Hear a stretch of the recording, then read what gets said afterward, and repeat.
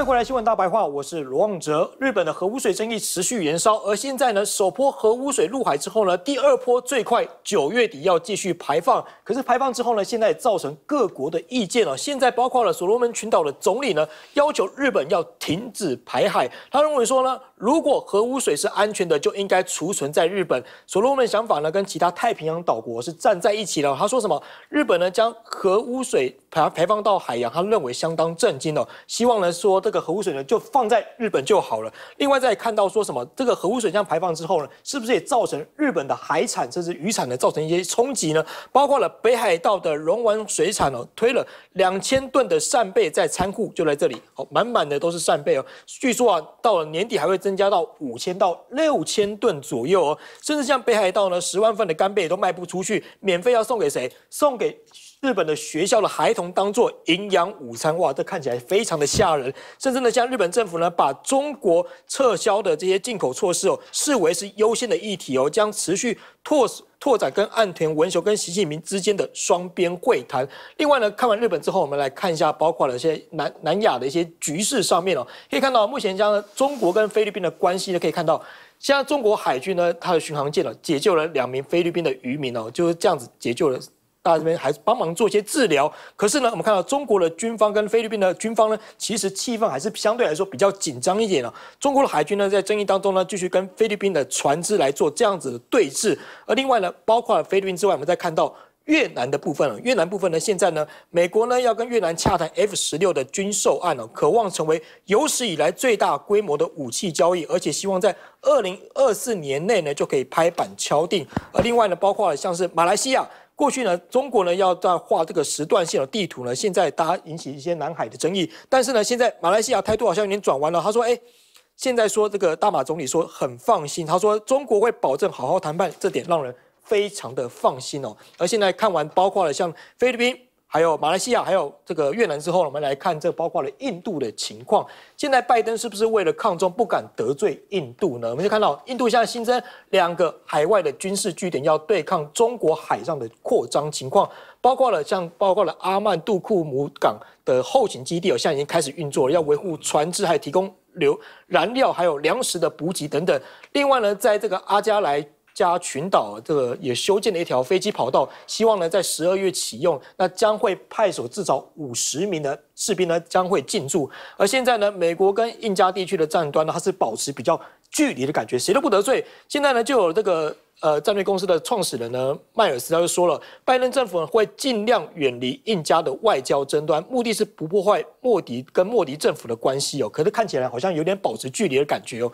另外呢，包括了现在呃。这个锡克教的领袖呢，尼贾尔也在今年六月被枪杀，这个会不会造成一些争议呢？我们看到布林肯说呢，他会持续关注到穆鲁呃杜鲁道的质疑，但杜鲁道说呢，他说正积极追查这个印度特务跟这个尼贾尔之间的死亡到底有没有些相关联的一个情形。而现在呢，包括了这个阿纳布呢，也说了一些重话，他说一些什么？我们一起来听听看。Now, what I find very surprising, Brahma. is the, is the militancy with which Trudeau is arguing for a terrorist. And, and then saying that we have a right to have a hotline with a terrorist. Our intelligence agencies should be with a terrorist. The terrorist can carry out bomb blasts in India, killings in India, kill innocent political workers, politicians, innocent citizens in India. But he has a right to do it from Canadian soil because that's the way we are in Canada.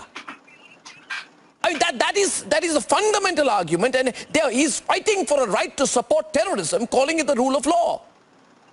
That issue cannot be diverted, in my view. 哦，真的蛮凶了。岳老师怎么看？我跟你讲，我对这个安娜布我这个印象非常深刻。就是安娜布一讲话的时候啊，有个俄乌刚开始发生冲突的时候，那个美国哥伦比亚大学的一个教授的质疑，就是印度怎么还卖油的时候，阿拉布都都讲说是啊，是不是？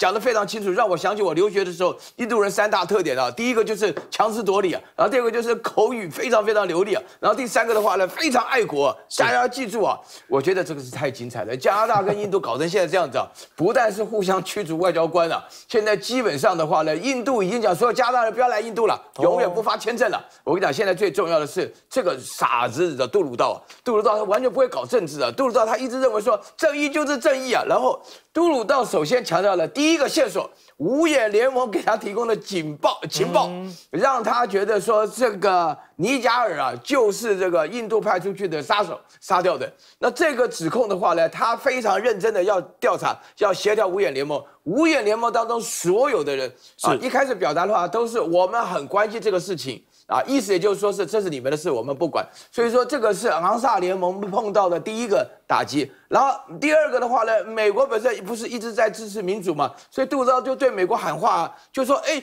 这个我们是一个民主国家，我们的公民在加拿大的领土上被印度人杀了，你要稍微管一下。结果现在好了，布林肯表达了。我们很关心，我们没有错，希望你们自己搞好。意思用台语讲说，你们受受受开后啊，你们自己好像是啊头过身就过，你们能够下，为什么呢？因为 BBC 讲的非常清楚啊，就是说美国现在好不容易把印度拉到自己这边来啊，就是印美国把印度拉来的时候的话呢，有重要的一个含义，这个含义其实跟我们哲学是相关的，因为我们中国人跟觉得我们跟印度人有差别，是有一点种族的感觉，就是说。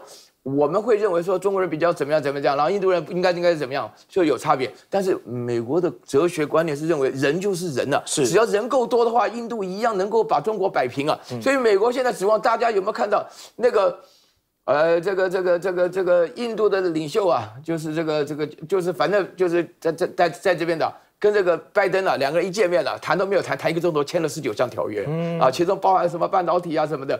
我觉得最好笑，这边还提到了印度本身要负责修理美国的船舰。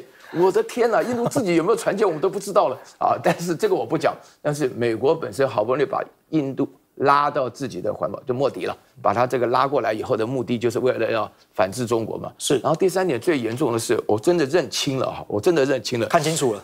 这个五眼联盟里面讲的、宣传的什么民主、人权、自由什么这些观点的话呢，遇到国家利益的时候，通通都不算数了。这个讲起来的话呢，非常严重。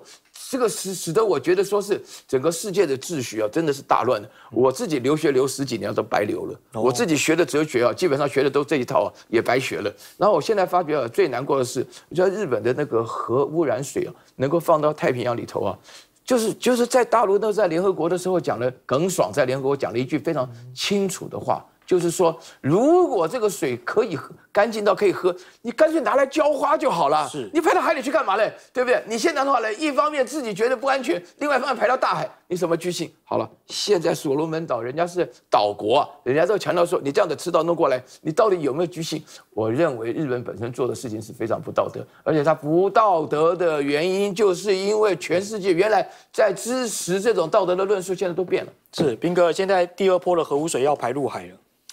我觉得日本如果以为说他可以用谈判协商的方式让习近平解除对日本水产的禁令，我觉得他是想太多。嗯，这个东西中国不可能会放。你看哦，中国加根者他前一阵子不是有禁令，可是他现在告诉你说，其实我没有说禁止啊，但是你要来申请。嗯，那那个就是他事先就保留余地，可他对日本的水产他完全没有保留任何余地，他就是全部禁止。嗯，那条件很简单，就是除非你停止排放核污水。所以，我个人认为，日本如果他懂的话，他应该要暂缓他这核污水的排放，赶快去跟世界各国协商。因为之前日本不是在讲吗？说只有中国人反对，其他都没人反对。现现在不是跳出来了吗？对。那实际上也不只是只有这一个所罗门群岛，韩国民众难道不反对吗？韩国是政府支持，可是民众是反对。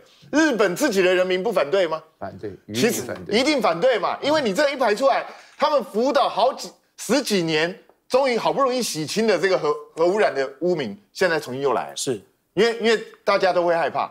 然后你现在想想看，为什么它这个扇贝、干贝都会堆积在那个地方？你说中国大陆不买，你日本民众可以吃啊。